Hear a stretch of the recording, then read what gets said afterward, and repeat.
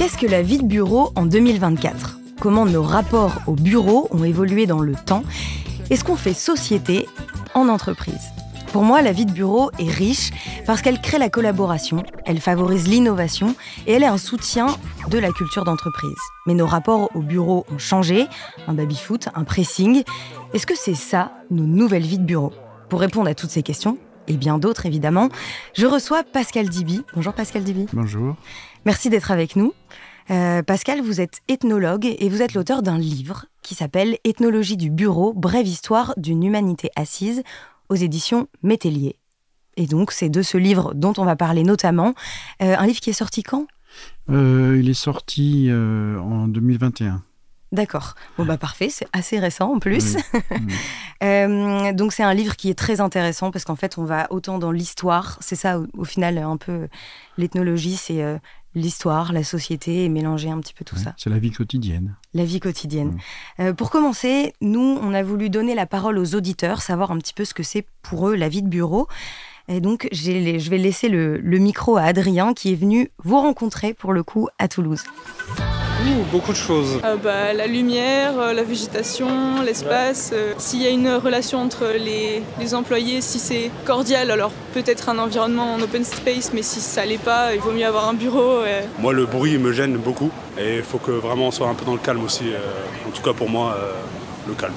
Au-delà de l'environnement humain qui doit, être, euh, important parce qu'effectivement il faut qu'on puisse se sentir bien avec les gens avec qui on travaille, il y a aussi le fait que l'espace dans lequel on est doit pouvoir être suffisamment confortable, qui nous corresponde un minimum. Bah, pour moi par exemple c'est la lumière, c'est le fait d'avoir euh, une vue sur l'extérieur et puis de pouvoir travailler, on va dire, dans un environnement lumineux. Et certains aiment, euh, par exemple, avoir les volets fermés et puis euh, sur son écran, moi, c'est vraiment, euh, c'est vraiment ça ma définition. Bah déjà, un espace assez coloré, je pense, c'est un petit détail, mais ça peut changer les choses. J'ai vu que, par exemple, un décor, par exemple, bleu, ça peut changer la perception du travail, même des petits détails comme ça. Quand on a de la sécurité, le plus important, qu'il y ait les bonnes conditions de travail, sur le matériel et tout ça, et puis c'est tout. Mais surtout, bah, il doit y avoir un confort physique, c'est-à-dire permettre de faire en sorte que le corps, au niveau du dos, au niveau de l'assise, euh, si c'est nécessaire ou debout ou autre, soit adapté à ce qu'on puisse être bien physiquement, parce que sinon ça a un impact sur le travail. Donc on a tendance à travailler un peu recourbé ou comme ça. Je sais pas si ça peut se faire, mais des massages peut-être ça peut servir pour euh, les positions. C'est bien qu'il y ait quelqu'un qui puisse masser. Bon, c'est un peu euh, utopique, mais voilà.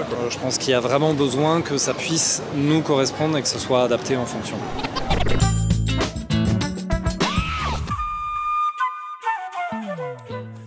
Pascal, on le voit dans ces vidéos. Euh, déjà, premièrement, Qu'est-ce que, à quoi ça vous fait penser euh, de voir ces réactions de jeunes? Ils sont tous relativement jeunes. Ben oui, c'est une catastrophe de voir la jeunesse qui aime tant le bureau. Je ne pensais pas qu'on en était arrivé là. C'est surprenant. N'est-ce pas? Et en fait, dans ce qui est intéressant, c'est que finalement, le bureau, c'est un ailleurs. C'est-à-dire, c'est un espace qui n'est pas l'espace habituel. C'est celui, évidemment, quand vous y allez, vous êtes payé pour ça. Mm. Donc, il y a quand même un échange très particulier et euh, un, un, employé, c'est quelque chose effectivement qui loue son service complètement euh, à un entrepreneur, certaine façon. Et en même temps, il demande aujourd'hui des garanties. Et c'est ça qui est très intéressant, c'est que la jeunesse n'a plus envie d'être euh, le pauvre de l'histoire et notamment demande effectivement un confort réel dans le lieu où il va pouvoir exercer ses talents. Et finalement, on voit ressortir bah, toutes les recherches qui sont en route depuis les années 1920, euh, c'est-à-dire toute cette histoire d'ergonomie où il s'agit d'être bien assis, d'être efficace, parce qu'en fait, le bureau, c'est la rationalisation de l'administration. Donc derrière, il y a la recherche d'une efficacité, d'une rapidité, productivité. et d'une productivité. Et le capitalisme a bien senti que si on voulait effectivement utiliser les gens, il fallait aussi leur donner les moyens d'être présents et d'être présents dans un espèce de bonheur. Et dans ce que se disent les jeunes, là, ce qui est intéressant, c'est qu'ils veulent ça. D'abord, euh, le bureau, c'est plus l'époque de Zola, c'est plus ces lieux pleins de poussière où on travaillait sous l'escalier mm. avec une lueur de bougie qui vous perçait les yeux, etc. C'est devenu un espace souvent qui est plus propre que chez soi. Mm. Le bureau, c'est une sorte d'hôtel mais d'un hôtel où on va tous les jours pour travailler, pour rentabiliser quelque chose. Mais en même temps, euh, ils ont beaucoup insisté là sur la propreté, sur l'espace clean, sur la lumière fondamentale. C'est très intéressant. On va en parler d'ailleurs un petit peu plus mmh. loin. Mmh. Euh, pour commencer, est-ce que vous pouvez nous décrire votre bureau à vous? Alors moi, j'ai un bureau d'universitaire, c'est-à-dire que je suis polybureau. Euh, je vis effectivement dans plusieurs lieux. Donc, j'avais un bureau à l'université On peut presque dire que les bureaux qu'on a à l'université sont des bureaux de prestige au sens où on n'y va pas beaucoup. Mm. Euh, mais on y travaille un peu. Enfin, la majorité des professeurs euh, travaillent plus chez lui ou en bibliothèque ou dans des lieux de recherche, etc., bien entendu. Après, j'ai un bureau à Paris et j'ai un autre bureau à la campagne. je me partage entre les deux. Et mes bureaux, ce sont des espaces géologiques. C'est-à-dire que tout s'entasse et je sais exactement à quelle couche appartient euh, euh, tel, euh, tel papier. Je recherche dans, dans ces papiers-là. Généralement, le bureau est environné de ma bibliothèque qui est dans un désordre parfaitement classé. C'est ça, très bien ordonné. Entendu, bien, bien entendu, il n'y a que moi qui connaisse les secrets. Et ça, c'est intéressant parce que le bureau, il s'agit effectivement de chiffrer d'une certaine façon les, les, les, les, lettres, tout, tout le, toute l'administration qu'on a. Alors, on se rend pas compte, mais cette mise en rationalité de l'espace dérangé qui est le bureau, en fait, euh, c'est né de l'obligation de pouvoir répondre aux demandes. Et c'est pour ça, tout à l'heure, on parlera sans doute du début du bureau. Tout à fait. Qui a été effectivement les lettres chiffrées, les espaces où il fallu mettre en ordre quelque chose qui n'était jamais ordonné. Alors, on montre souvent une étude de notaire. En fait, les notaires sont beaucoup plus ordonnés qu'on le croit, puisqu'ils retrouvent nos histoires familiales d'il y a plusieurs siècles. Mais en même temps, ça dégage quelque chose comme ça d'ancien. Et c'est là où l'interview est intéressante c'est que ce sont des, jeunes branchés. Et peut-être qu'ils sont slashers, c'est-à-dire que peut-être qu'ils ont plusieurs, plusieurs bureaux en même temps. Comme vous, finalement. oui, sauf que moi, je suis encore d'une génération de pachydermes. Euh, j'ai encore un bureau. Tandis qu'eux, ils ont leur bureau portatif, ils ont le bureau sous le bras. Et il y a beaucoup de jeunes qui travaillent à gauche, à droite, euh, où l'espace n'a plus l'importance qu'il avait dans notre fonctionnement à nous, beaucoup plus sédentaire. On le voit même, euh, d'ailleurs, vous, vous ne pourriez pas, c'est euh, les bureaux qui se partagent. Aujourd'hui, on, met ses effets personnels, disons, dans des placards, et, puis le suivant arrive et pouf, Exactement. aussi, Donc fait ça, sa place, ça tous les, tous les systèmes, effectivement, mm. de, de, de... Pourquoi est-ce que vous avez travaillé sur le bureau? En fait, moi, je m'intéresse essentiellement à la banalité du quotidien. Mm. Et donc, euh, j'ai fait un premier travail, j'ai fait d'autres choses, mais entre autres euh, travaux paradoxaux, je me suis interrogé euh, sur ma chambre à coucher, sur comment on dormait, où on dormait, pourquoi on dormait, avec qui on dormait, comment, etc. Et puis, une fois, une fois travaillé l'ethnologie de la chambre à coucher, je me suis demandé comment j'allais sortir de ma chambre. et je me suis rendu compte que dans la, dans, le, dans la journée, je passais entre 200 à 300 fois une porte et que c'était jamais la même porte au sens où selon ce que j'avais à faire, selon où j'allais, évidemment, elle avait un sens et une symbolique et une force ou un interdit euh, extrêmement fort. Donc j'ai fait un gros travail sur l'ethnologie de la porte, des seuils et des passages. Et puis, j'ai été frappé par le fait qu'on n'avait pas pris en compte euh, quelque chose de neuf. Alors, j'ai commencé mon travail, j'ai dit, était sorti en 2021, j'ai mm. commencé dans, les, dans les années 2015. Ah oui, Parce que c'est long, un travail comme ça de recherche.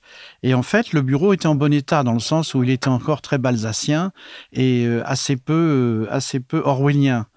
Et c'est vrai qu'entre-temps, il y a eu la crise Covid. Il y a eu le Covid et la question, effectivement, du bureau s'est posée d'une mm. façon extrêmement aiguë. Et je ne savais pas que j'étais en train d'écrire une histoire qui se terminait. Mm. Donc finalement, si j'ai sous-titré mon livre euh, Bref histoire d'une humanité assise, c'est que je me suis rendu compte que effectivement la majorité de notre système était un système tertiaire et que le pouvoir allait à ceux qui étaient assis derrière un mm. bureau. Et que cette, euh, cette histoire du bureau, évidemment, en travaillant, je me suis rendu compte qu'elle avait totalement conditionné notre quotidien, euh, euh, en tout cas européen, mm. depuis la Révolution française. Oui, on va en parler, c'est ce que vous dites. En fait, pour vous, le bureau, c'est une culture, voire même une mentalité. Absolument. Ce qui est intéressant, on, le voit, c'est que le bureau et la société s'influencent au final l'un et l'autre. on, va, on va parler de ces influences transverses, mais d'abord, est-ce que vous pouvez nous raconter comment est-ce que le bureau lui-même est arrivé dans nos vies et comment est-ce qu'il a bousculé nos quotidiens? Alors comme beaucoup de choses, c'est lié aussi au développement économique, au développement politique des sociétés. Et en fin de compte, les premiers bureaux sont apparus euh, à Versailles, avec le bureau du Nord et le bureau du Midi, c'est-à-dire le ministère des Affaires étrangères et le ministère des Finances. Et on est passé d'un cabinet de curiosité à un cabinet de travail, plus exactement, à des bureaux. Mais le terme a commencé à être utilisé quand cet espace a pris sa force. Euh, par rapport au reste de la société et a pu s'imposer, notamment euh, dans, dans, dans, le public, si je puis dire. Donc euh, le début, ce que je disais tout à l'heure, sous Choiseul, on a commencé à, rationaliser euh, l'espace de travail, à prendre en compte le fait que euh, administrer, c'était aussi mettre en ordre, et donc organiser ce que je disais sur le sur l'archivage, sur le chiffrage des lettres, etc. Et puis est arrivée la Révolution française. Et là, il s'est produit quelque chose d'extraordinaire, c'est que la Révolution, les révolutionnaires ont voulu tout noter de ce qui se passait. Donc on s'est retrouvé en face de, je dirais, de demandes, notamment d'accélération de la notation. Et grâce à l'utilisation euh, euh, des, systèmes de notation, on a pu multiplier par 5 la vitesse euh, avec la sténographie qui existait d'ailleurs depuis, depuis les Romains. Hein, mais donc n'avait pas d'utilité particulière dans la société. On, on, a donc accéléré la notation. On a aussi accéléré pour ça, il fallait du monde. Et entre 1789 et 1791, on est passé de 600 à 6000 agents de l'État. Et à ces agents de l'État, qui sortaient de la royauté, mm. il a fallu leur faire croire, et plutôt les persuader que l'État existait. Si le roi était une personne physique, l'État n'est pas une personne définie réellement. Donc, euh, il a fallu contraindre les gens à venir et surtout à accepter l'autorité de cet État qui n'était rien d'autre qu'une entité euh, gazeuse, si je puis dire. À la limite du papier, de l'écrit. Oui, oui, ben oui, voilà. Et donc, 1791, euh, on a même euh, mis en question l'obligation d'obéissance avec un risque de peine de mort. Il y a eu des gens qui ont eu la tête coupée pour ne pas avoir obéi effectivement aux demandes du bureau d'une certaine façon. Donc en fait, c'est à ce moment-là qu'on a créé les rythmes on a créé l'heure à laquelle on arrive au travail. La grande question, c'était d'attirer les gens. D'accord. Et comment est-ce qu'on a fait? Eh ben, on a changé complètement le rapport à la quotidienneté dans le sens où, euh, en fait, on a commencé à payer les gens de façon régulière tous les mois. Et hmm. c'est la première fois que de l'argent sonnante et trébuchante sortait et arrivait parce que c'était toujours des promesses, mais jamais, des, jamais forcément des, des réalités. Et puis, on a aussi réussi à les convaincre qu'ils travaillaient pour le bien public donc il y a eu aussi des moments dans le quotidien, d'ailleurs c'est ce qu'on vit souvent dans des bureaux, euh, le passage du vouvoiement au tutoiement. Hum. Et ça, Déjà à ce moment-là. Oui, oui, bah oui. Au contraire, Saint-Just a pensé que les, les bureaucrates, euh, tant qu'ils étaient polis, étaient des mauvais bureaucrates et qu'il fallait être avoir un langage de chartier et réussir effectivement à tutoyer l'autre. Euh. Et en même temps, la bureaucratie s'est tellement développée au moment de la Révolution française parce que c'était une des façons de se défendre, c'était aussi par le fait que les actes étaient notés ou hum. n'étaient pas notés, etc. Euh, que euh, euh, y, a une expression absolument magnifique d'un témoin de cette époque-là, c'est Sébastien Mercier, qui dans les tableaux de Paris écrit une phrase absolument extraordinaire, c'est à Paris, les bureaux, les bureaux ont désoré Paris. Les bureaux ont désoré Paris. Désoré Paris, ça veut dire quoi? Ça veut dire que le rythme quotidien de la ville s'est transformé. Jusque-là, on fonctionnait sur un rythme qui était plutôt propre aux saisons et aux systèmes ruraux. Et là, on commence à prendre le déjeuner vers 9 h du matin. Donc ce fameux petit déjeuner qui était pris à 6 heures ne l'est plus. À 10 heures, on part au bureau avec le ventre plein. Et il faisait la journée continue jusqu'à 5 heures. Et à ce moment-là, le déjeuner devient, le, le, dîner qui était alors le déjeuner est repoussé vers 6 heures et le souper disparaît, sauf dans la bourgeoisie ou autre lieu, etc. Et on voit Paris qui s'organise entre 10 heures du matin et 5 heures de l'après-midi, avec, vous le savez, l'importance effectivement des heures de bureau qu'on a complètement, euh, je dirais, euh, assimilées. Et par exemple, si je vous dis tout à l'heure, on va aller à la préfecture, vous allez me répondre sans sourciller, non, non, jamais entre midi et deux. Et effectivement, c'est le bureau qui m'impose son rythme. Donc ça a été des moments extrêmement intéressants parce qu'en même temps, il y avait d'un côté l'héritage nobiliaire mm. qui impliquait un système hiérarchique de transformation, de passage, euh, de droit, de, de, de, de pré-droit, etc. Et puis à côté, un système bureaucratique qui proposait, lui, une égalité dans le fonctionnement. Mm. Et cette égalité s'est posée, effectivement. Donc, comment est-ce qu'on fait quand on est agent de l'État Qui est mon chef? Je suis mon propre chef. Hein, un agent de l'État, euh, n'importe quel fonctionnaire est son propre chef, qui dépend d'un autre chef, qui lui dépend d'un autre chef, qui à la fin dépend du président de la République d'une certaine façon. Et donc, euh, cette idée de développer une hiérarchie qui n'était pas basée sur un héritage biologique ou euh, symbolique comme la noblesse, mais qui était basée sur une méritocratie d'une certaine façon. Et donc, on, on, voit se mettre en place ce bureau avec sa hiérarchisation qui est mise en question aujourd'hui. C'est ça qui est extrêmement intéressant.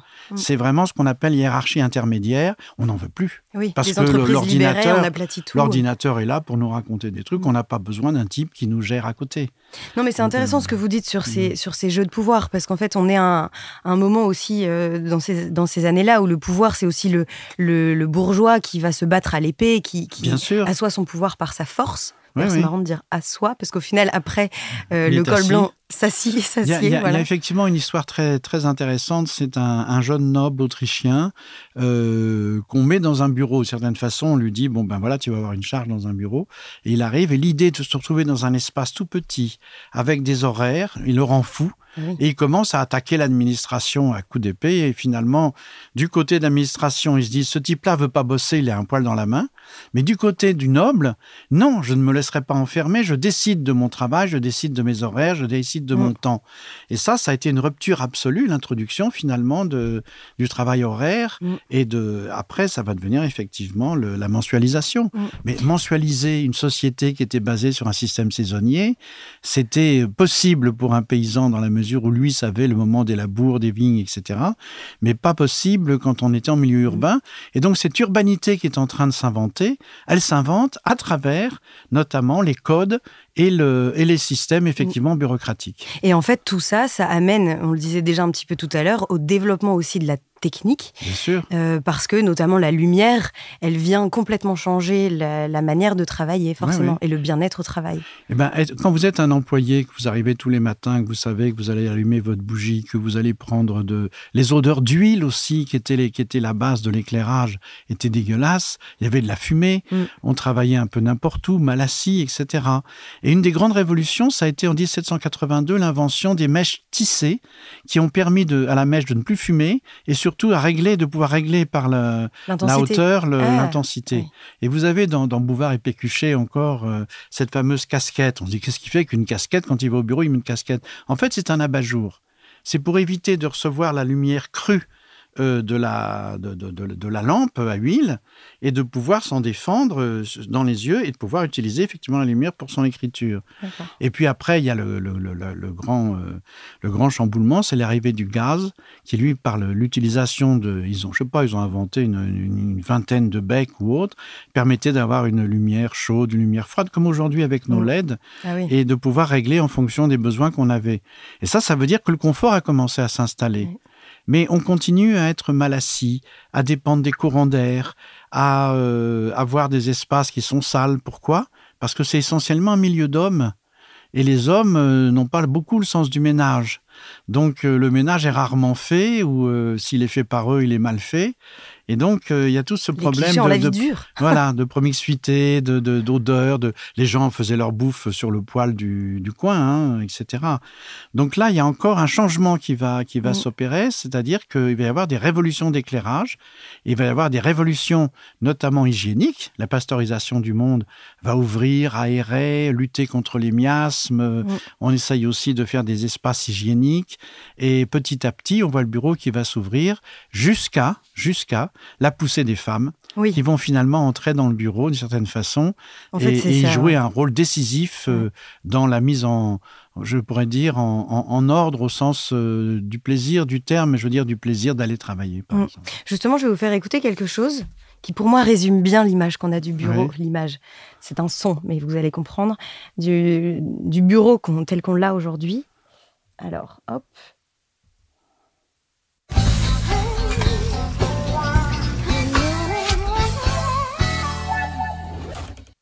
Je ne sais pas si vous avez la référence. C'est Caméra Café C'est Caméra Café, exactement, c'est le générique. Alors on n'entend pas le café. J'aurais pu mettre la machine à café. Oui, oui, mais je, me dit, ah, on connaît quand même tous ce générique. Euh, en fait, ce qui est intéressant avec ça, et on l'entend, je trouve, euh, au début, avec euh, ces jeunes Toulousains mhm. qui parlaient de l'importance du café. Ils disaient, ah tiens, si on peut bah avoir du café pas cher, ou voire même gratuit, des boissons, ce genre de choses. En fait, ça montre que le bureau est devenu un lieu de convivialité on partage le café, on prend le café tous ensemble. L'idée maintenant, c'est de passer un bon moment au travail. Et ça, justement, ça date de quand? C'est désespérant ce que vous dites. J'espère pas. non, non, l'idée de passer un bon moment au travail, je suis pas sûr qu'on passe des bons moments au travail, mais on peut effectivement au moins se défendre contre la morosité produite par la répétition, euh, par euh, effectivement des, des, comportements amicaux avec les voisins, etc. Et c'est vrai que l'univers du bureau, c'est un univers qui, reste, qui est un univers individuel mm.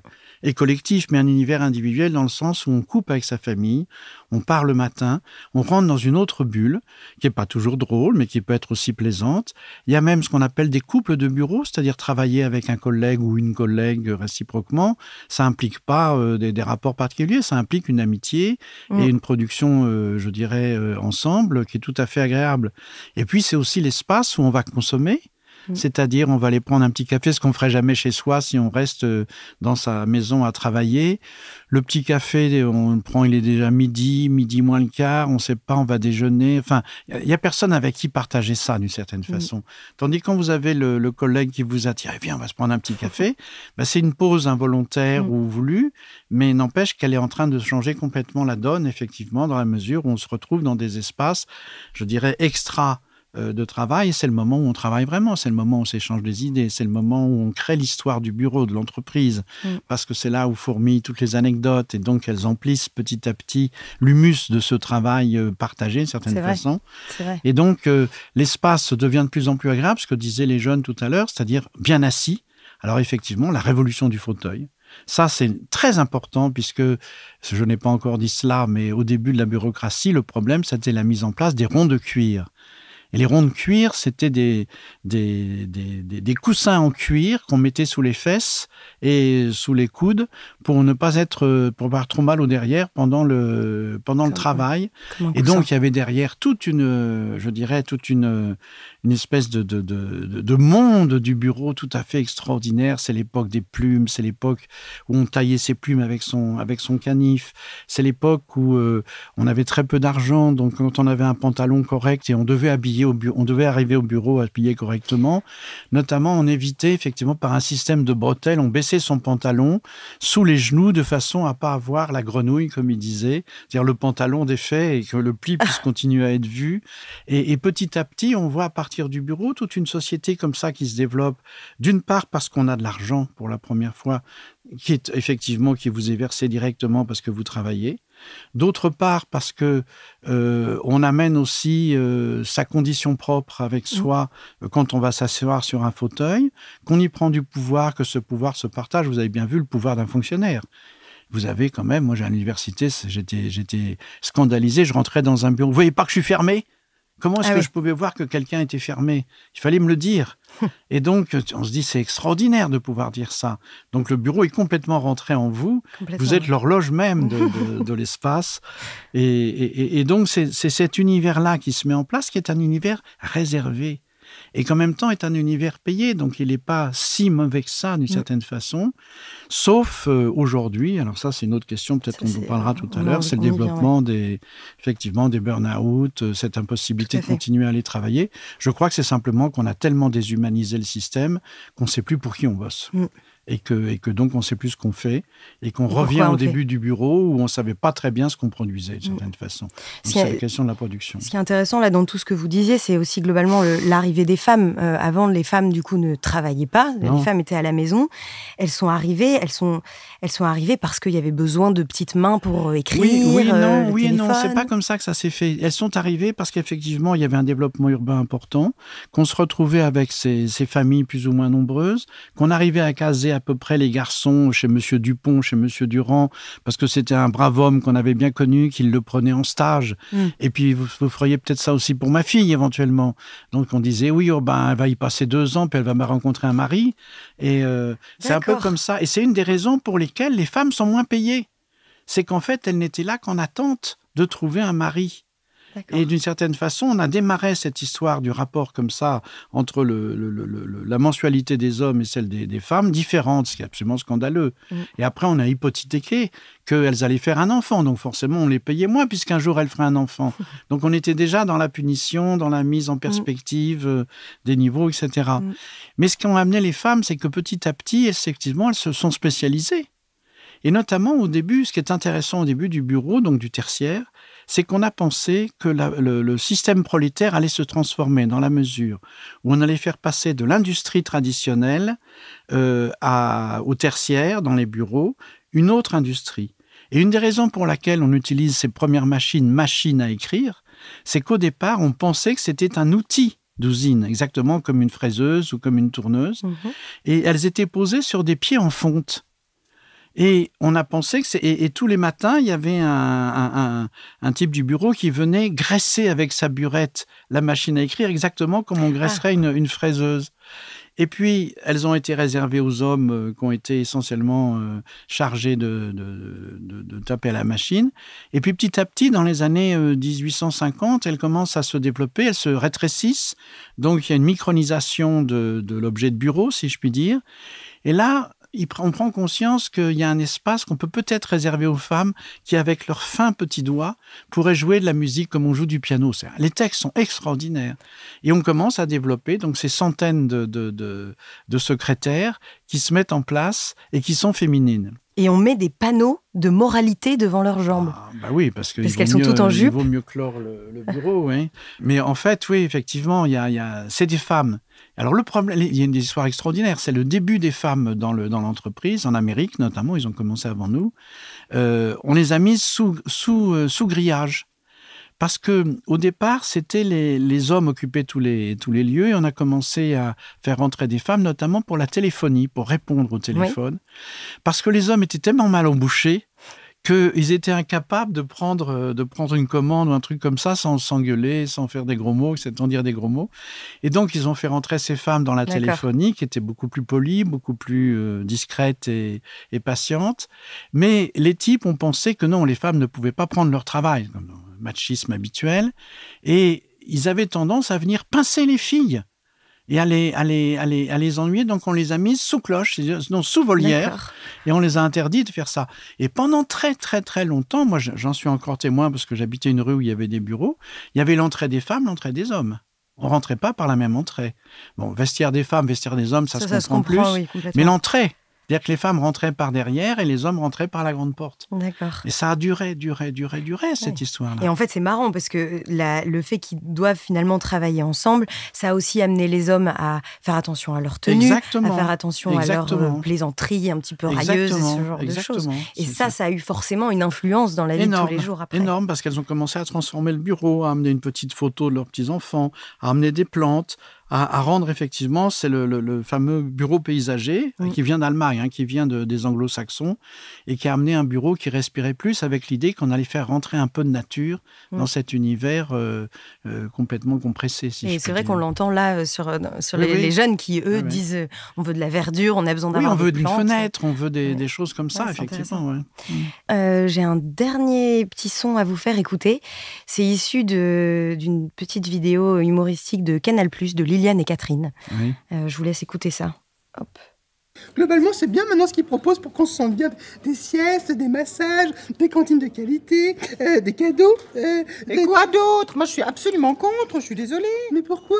Mais parce que le travail, c'était un lieu de pénibilité. Travail, tripalium, instrument de torture. C'est ça qui était bien. Comme ça, t'étais content de rentrer chez toi. Je le vois, leur petit manège. Non, non, non. Mais lequel?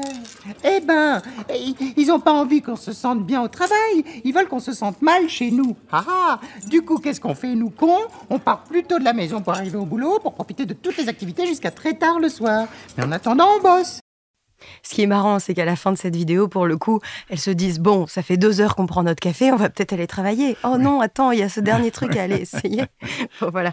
Mais non, mais tout ça pour dire que, en effet, le monde du travail a énormément évolué. Alors, il y, a une chose très intéressante, c'est cette, cette, rupture qui s'est opérée avec le Covid, avec la mm. Covid, mm. en, en 2019-20, quoi. Euh, on a quitté les bureaux où la question posée, c'est exactement les questions dont elle parle, elle, c'était la, la QVT, la qualité de vie au travail. Et on en était, puisque moi j'avais déjà commencé à travailler sur mm. le bureau à l'époque, sur la question de savoir si on allait faire des dormitoriums, des endroits où on pourrait faire des siestes pour se recharger, pour pouvoir travailler mieux dans l'après-midi, etc. Des espaces qu'on appelle maintenant dans, dans, des, dans des euh, dans des coworking, etc., avec des ping-pong, des machins, etc. Mais en réalité, la question est tombée comme ça, ça s'est arrêté. Et le grand problème, ça a été de remotiver, exactement comme à l'époque de la Révolution, mm. de remotiver les gens de revenir au bureau. Et les articles qui sont sortis après la sortie, qu'on soit sorti du Covid, si je puis dire, c'est de savoir comment rameuter nos troupes. Ah, on va faire des pots, on va faire des, des, repas de machin, on va faire des soirées.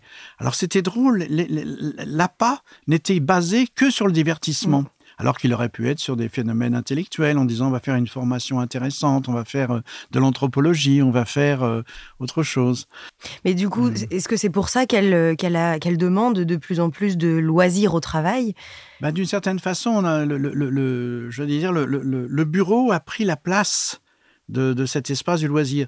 Dans la mesure où, si vous hmm. voulez, jusque-là, jusque tant qu'on était dans l'industrie lourde. Oui, le temps était scindé. Oui, et on gagnait sa vie à la sueur de son front.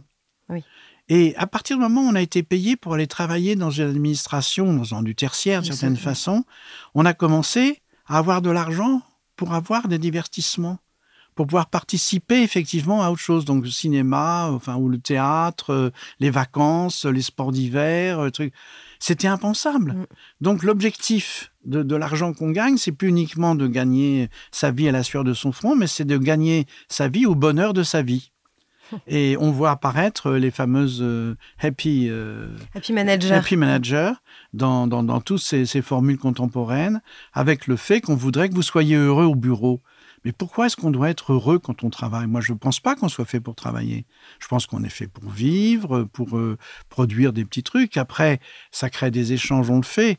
Mais si c'est effectivement pour acheter du sel, pour acheter du pain, pour acheter des choses de base, mais du superflu absolu, est-ce que c'est drôle d'aller s'amuser tous les jours? On ne sait pas. C'est remettre de l'utilitariste, disons, dans le rapport on est en train de rentrer dans un utilitarisme absolument total, total, mm. total.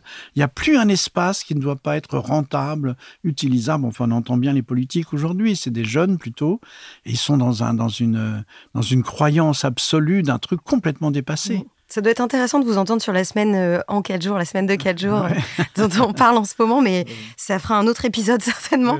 Euh, ma dernière question, parce qu'on arrive déjà à la fin de ce podcast, c'est de savoir si selon vous, est-ce qu'on arrive à la fin du bureau? Non, on arrive à la transformation du bureau. Enfin, je veux dire au sens où euh, le bureau n'a plus raison d'être.